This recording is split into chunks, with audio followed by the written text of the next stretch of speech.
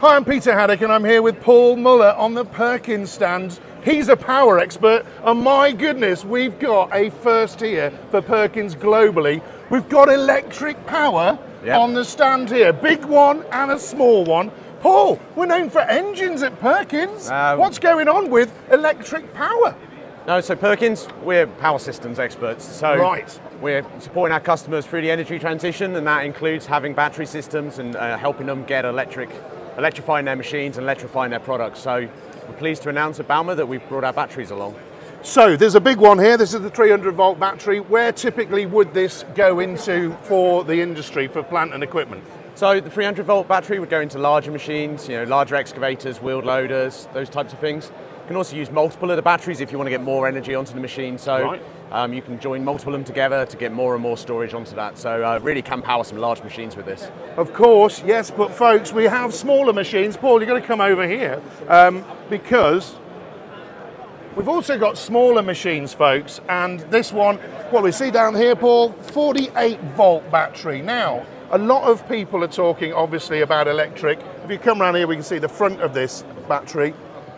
And Paul, the, the thing about it is we're starting mini, we're starting compact. Yes. And so I'm taking it that's why we've got the smaller battery option. Exactly, you know, smaller machines, uh, compact wheel loaders, small paving machines. You know, that smaller battery is perfect for those types of applications. You know, right sized for what they need, and the lower voltage as well, which makes it easier for them to install. Come round the back, folks, because we need to see the back of the battery. It's not very exciting, the back of a battery, but Paul, at the moment, what I want to see it, hear from is what's inside here. First of all, what's the casing made out of uh, to protect the battery, and then what have we actually got inside? Yeah, so you can see the back of the battery. It's made up of a series of modules, gives us a lot of flexibility to allow different combinations. Okay. Um, so inside that are the uh, the cells that make up the batteries. You know, we've got a lot of flexibility in the cells we can use, so we can use different styles of cells, uh, prismatic ones or uh, cylindrical cells. Gives us future proof, allows us to move forward with as uh, technology changes. What's interesting about that, folks, this is the first time I've heard about those sort of options, and we'll come into that in a, probably another discussion, Paul. But what is the scenario here? The lithium, lithium ion in here? Yeah, lithium ion. But you've got a solution that if we go to different materials, then you can pack different things in in the future, future-proofing the casing and, and, all, and everything that goes with it. and future-proofing the customer's installation. They Yep. do the installation once. We'll make sure that they stay up to date with the latest technology as it comes along. So I've known how you do the 3D uh, uh, models of engines to fit them in machines. I take it you can help people fit these batteries in their machines using your engineering skills as well. Exactly. In the same way, we've got our customer machine engineering team, our CMET team. They're working across our diesel engines as well as into our future technology. So they will work with our customers to install these into their applications. So we'll have a machine side by side doing electric and stage five. Now, I can't come to the stage without seeing some big engines, folks. And let's go and have a look at some of the engines. We'll start a bit smaller, but then we'll get a bit bigger. Right, so turning around, Paul, come and tell me a little bit about you know the classic new engines, stage five that are coming from Perkins. What have we got here? So here we've got our 904 uh, product. So this is the, uh, the 2.8 litre. So it's our IOPU configuration. So it's got a cooling pack all in there, the mounting system already built in. So the customer is really simple for them to install. So we brought this along for the show and it's, uh, it's just come out. So this is a sub 55 kilowatts, so no SCR system, but still meets stage five and also dual certified for the US tier four final as well. What's interesting about this is, you know, when we're, we're looking at engines, it's like the manufacturing process of putting things together. If you've got a system where you've got a, a system like this, you can literally plug it in as such, Yep. and, and, and off you go. And I think that helps the manufacturers, and this is what engine design's all about nowadays, isn't it? Helping manufacturers do things quicker. It is. It's about helping the OEM. So our after treatment is already mounted on the back of the engine. There's a cooling pack on the front. So it's plug and play. Uh, you know, all the difficult installation work is already done. All the sign off to make sure it meets the emissions regulations is all done. So the customer has a really simple solution. And these things are tested at minus 35 degrees, folks. I've been in the cold chamber at Perkins, and I can tell you, it's still working when that happens. Yep. And I think it's about the testing, and it's also about saying, right, we've got a whole system packed in here that's optimized everything. Yep. And also that means you can make machines smaller, which we're seeing everywhere in bauma, aren't we? We can, yeah. A number of our engines, we've uh, really downsized them and increased the power density.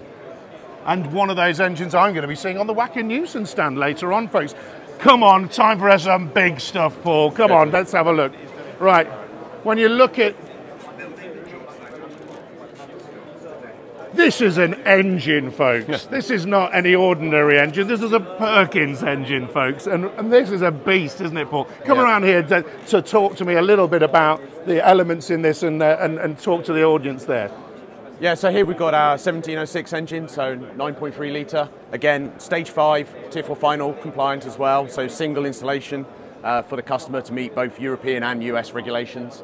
Uh, as you can see, we've got the after treatment mounted on the engine again. It's really simple for the OEM to install because all the work's done, the validation's done, um, and it's just ready to plug into their machine and away they can go.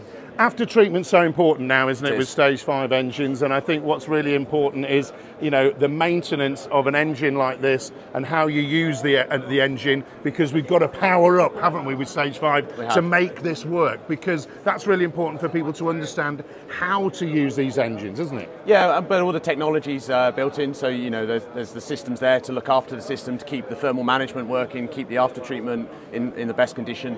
You know, the after treatment's designed as fit for life. There's no uh, servicing needed on that. And so that's the whole point, isn't it? Yeah. You know, what for me, what I see here, stage five engine is every drop counts, folks. The value of every drop. We're, we're actually using it and optimizing all of that as we work through. So there's lots of sensors in here, isn't there? There's lots of hidden stuff There's- behind this shiny engine, Yeah, isn't it? huge amounts of sensors, huge amounts of data being collected off that, and you know we also can use our telematics systems to monitor the engines and help our customers get the most out of them. Yeah, and what's really interesting about the monitoring of the health of an engine, that the engine fundamentally is the beating heart of any machine, It you is. know, and the operator's the brains, folks. So if we have alerts that are coming through because sensors are telling us something's getting too hot, too warm, we can see any trending data that might happen, or we can have a red alert which really says, folks, red alert, let's make sure this machine is switched off. We get a maintenance engineer into the machine and off we go, can't we? Exactly, and we're using our telematics systems to give uh, the users, you know, actionable information, not Yep. just here's a number to go and look up. We actually go and tell them what to do and how to fix the issue them, uh, for themselves.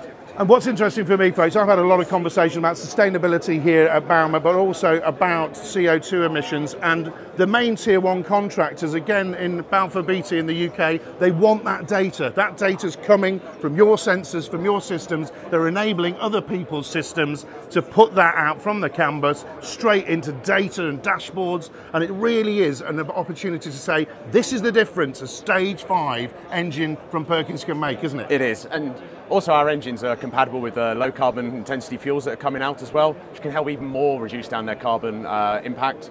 So the engines are all HVO compliant, you know, can run on other uh, low carbon fuels, and also you know up to 20% biofuel as well, and still meeting stage five requirements at that point.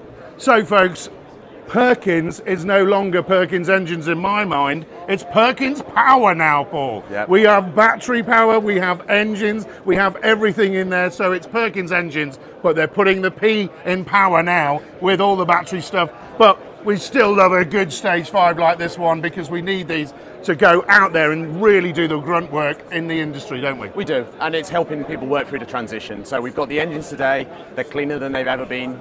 We can run on the low carbon intensity fuels, and then we're working with uh, the OEMs on fitting the batteries and moving towards electrification as well. It all makes the manufacturing process simple. One line, put a battery in it, put an engine in it. Depends what you want, depends what the customer wants. Now you've got the power that matters. It does, and you know, customers can come to us, and we can help them look at the different solutions and work out what's best for them. You know, as I mentioned about our uh, customer machine engineering team, you know, we can sit down, we can give them the options, we can say what would work, what's the best solution for them. We also had the hybrid systems that we showed back in bauma in 2019. We've continued to work on those as well, so we have that full range, and we can really help the customers work on what's the best solution for them. And I'm going to be speaking to some of those customers soon. Paul, thanks very much. No problem. Great Thank to see some extra power in Perkins. Cheers. That's good.